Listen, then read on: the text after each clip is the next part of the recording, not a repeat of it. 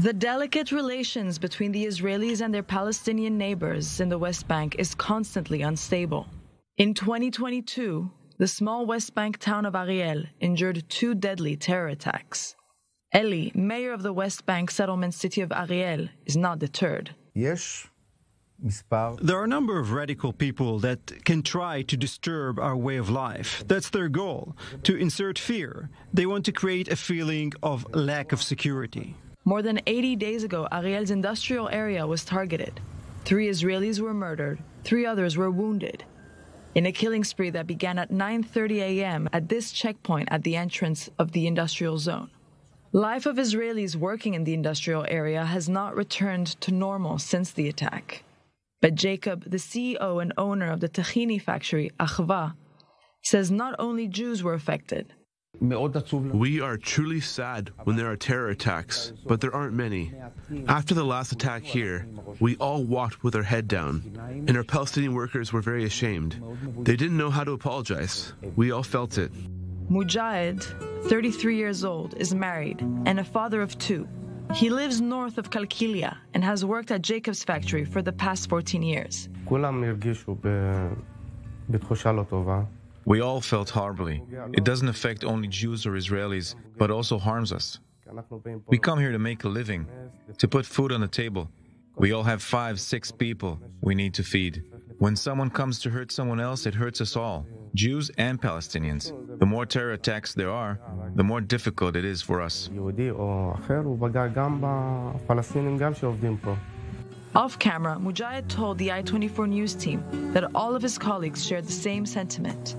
Around 5,000 Palestinians enter the industrial zone every morning to work in one of the factories alongside Jewish Israelis, and all have a common interest. Those Palestinians that earn four to five times the amount if they were employed by any other company in the Palestinian territory create a mutual financial interest.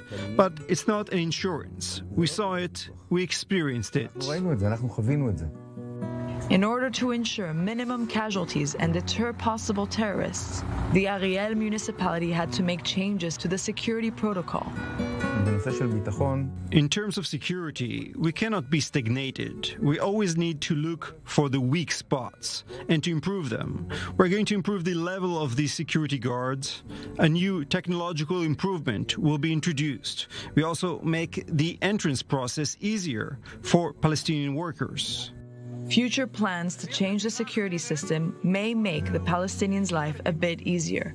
For now, though, that isn't the case. It's hard to stand in line to be searched. Before the attack, we only showed the work permit. Now, we need to stand in line with space between us and searched with a metal detector. Before, it was easier. For some, this process can be humiliating, but Mujahid has a unique perspective. It's not humiliating. It's a security matter. Someone can attack. Do you understand why they enforce the security measures? I do. So it won't happen again. Do you think it keeps you safe as well? Correct. It keeps us safe as well. If someone will come to attack again, it will be harder here. There will be some restrictions. There will be more restrictions, more searches, much more difficult.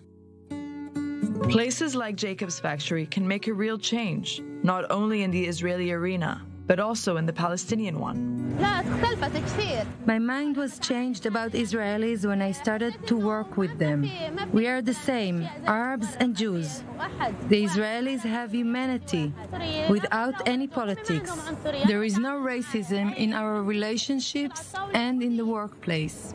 My work partner is an Israeli woman. I feel only respect, and there is nothing but respect. When I came here, I found out the truth. I used to think peace will come from wars. But when I came here and I saw the relations between Jews and Arabs through economy and realized peace will come from here. In 2009, then Prime Minister candidate Benjamin Netanyahu presented his vision for an economic peace that would give Palestinians hope for the future. Reality on the ground, armed conflicts, and political changes made that promise a difficult task to achieve. But maybe for the businesses in the West Bank, this long forgotten vision can turn into a reality.